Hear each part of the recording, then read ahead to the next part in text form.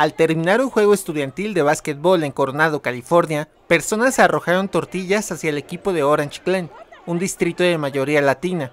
El incidente ocurrió en medio de un enfrentamiento entre jugadores, luego del triunfo del equipo local. La escuela de Coronado ofreció disculpas a los estudiantes y prometió sanciones, y la policía de la ciudad informó que está investigando el incidente y al menos una persona fue identificada.